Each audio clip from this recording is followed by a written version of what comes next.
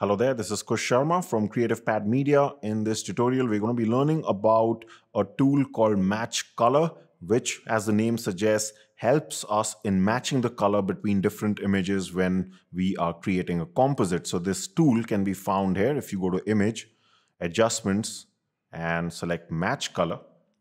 So we're going to soon see how this works, how what all these sliders do. But first of all, we've got three images here and you've got access to all the three images. The link will be in the description of this video. The first image is going to be mainly for the foreground. So we'll be keeping this person and the rocks from here. We'll be replacing the sky with first of all, this particular sky and then this one. Two skies because both the times when we do this, you're going to see that some of the settings in that match color function will have to be tweaked around a bit depending on the sky. So it'll be also a good practice to do it twice. And as the name suggests, this function will just you know, take in the colors of the sky and just make it more realistic because it's going to impose those colors in the foreground here. And therefore, it's a great tool to use in compositing. So let's get started. So first objective is to quickly select the sky so that we can just get rid of it. So we go to select menu and these days we have the select sky function. It's automatically going to make a selection of that. And even though we can, after it makes the selection, we can delete the sky, it's usually always a better idea to keep the sky intact and use a layer mask.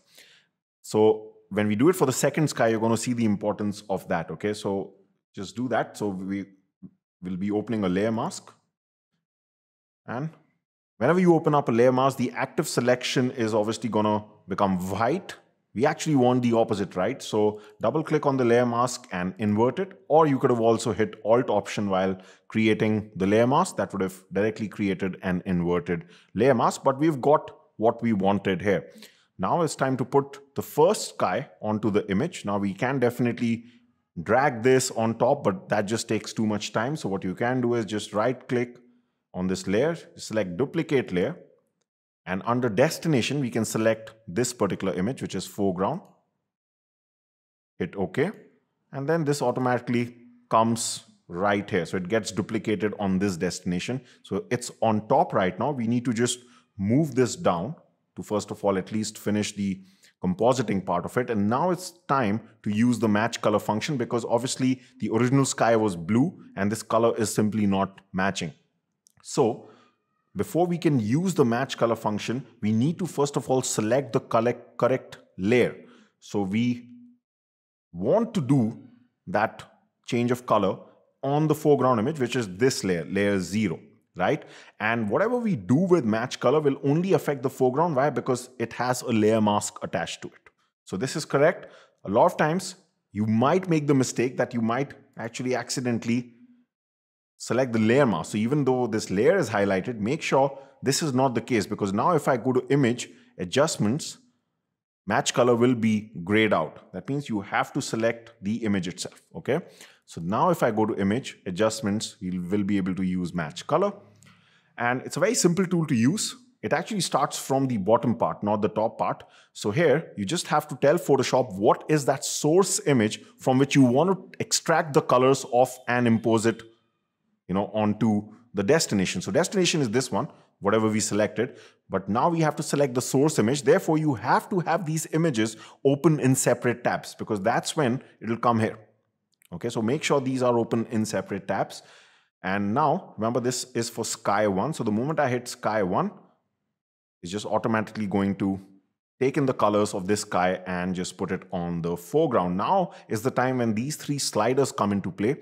The first slider is luminance. So this will just help us select the brightness because it produces a change in the luminance, but we can manually control how much brightness we want. So I would just like to decrease it a bit because I felt it was too much. So some, something like this is fine. Next is the color intensity. So obviously, as the name suggests, how much of the colors do you want here? So I can increase it. It's going to increase those colors that it took from this image. If you decrease it, it's going to start to desaturate it. So some, this was fine. I think. So the almost what we got with the default. Then you have the most two important sliders, fade and neutralize. So before I talk about fade, let me actually talk about this checkbox which says neutralize. oftentimes what's going to happen is, and we'll actually be seeing this in some moments from now when we use the second sky, okay? Because the second sky is actually much more intense and more saturated than this first sky. But oftentimes when you're using very strong source images, it can, when you use this tool, it can leave a bad looking color cast also. So if you're if you are noticing that, you can hit neutralize. And even if I do it here, even though we are not really noticing a bad looking color cast, you'll be able to see the difference. So if I hit neutralize, it is still going to produce the changes that match color does. It's just that it takes out that bad looking color cast and this kind of starts to look much better. Another option that you have is if you felt that this took away too much, that you did like those red colors here. So I've disabled neutralize, but another option to make things subtle is this fade slider, which as the name suggests, is going to fade the effect of everything that we've done with match color. So right now when it's set to zero, think of it like this, that its full intensity is being used at zero because it's not fading anything at all. But if I want everything that has happened here, including luminance, color intensity, everything to just fade a bit, I can reduce this.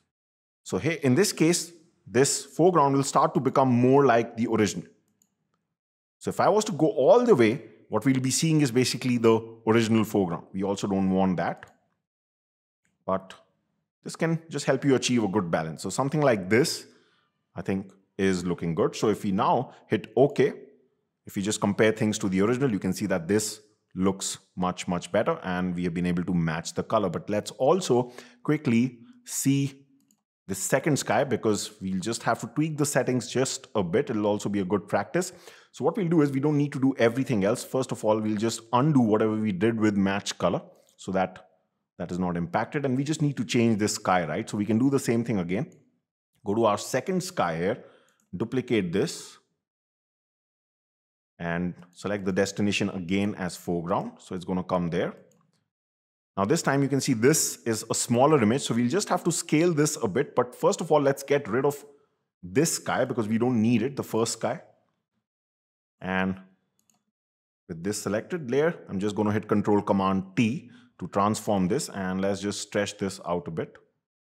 Maybe this much is fine. I can hit Enter and we just need to move this down. But this time you can see, right, this is a much stronger sky, but just see, if I again use the match color function here, this time we are definitely going to get that bad looking color cast. So let's just wait for it. Sometimes it can just take a bit of time for, for the rendering process to happen. Sorry, actually there was no rendering process happening because I did not select the source, okay? So just skip my mind. So we just have to select the source. So this time that's going to be sky 2. And you can see this time that color cast is really, really bad. So we definitely need to use the neutralize function.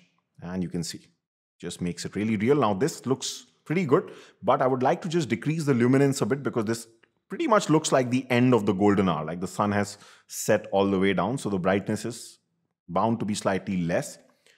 Definitely want to reduce the color intensity a bit. Something like this is fine.